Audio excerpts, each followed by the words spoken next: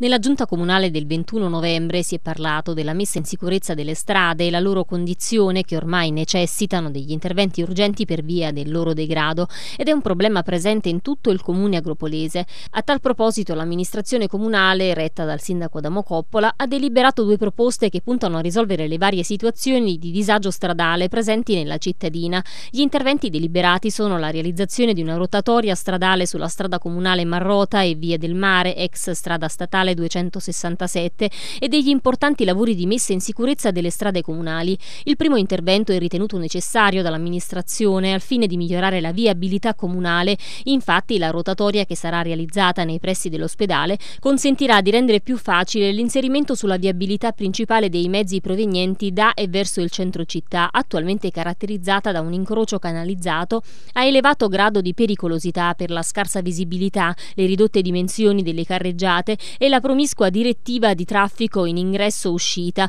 unita ad un traffico veicolare sostenuto anche dai mezzi pesanti diretti verso l'area portuale e il centro cittadino. Le spese complessive dell'intervento sono di 184 mila euro, di cui 145 per i lavori e oneri per la sicurezza e 38 mila euro circa a disposizione dell'amministrazione comunale.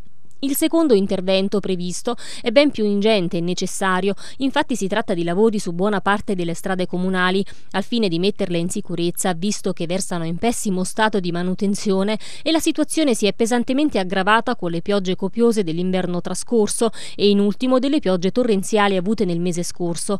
Il livello di degrado è arrivato a tal punto che la manutenzione ordinaria non è più possibile. L'ufficio tecnico ha individuato infatti alcuni interventi prioritari anche in base alle richieste che provengono dalla cittadinanza e alle segnalazioni da parte dell'amministrazione comunale stessa. Il progetto definitivo prevede 500.000 euro destinati a questa serie di interventi, di cui circa 410.000 euro per i lavori. Entrambi gli interventi saranno finanziati con dei mutui da contrarre con la Cassa Depositi e Prestiti SPA. SPA. Il sindaco Coppola e l'amministrazione puntano a risolvere un problema che affligge il comune di Agropoli da ormai troppo tempo e a rendere le strade agropolesi sempre più sicure.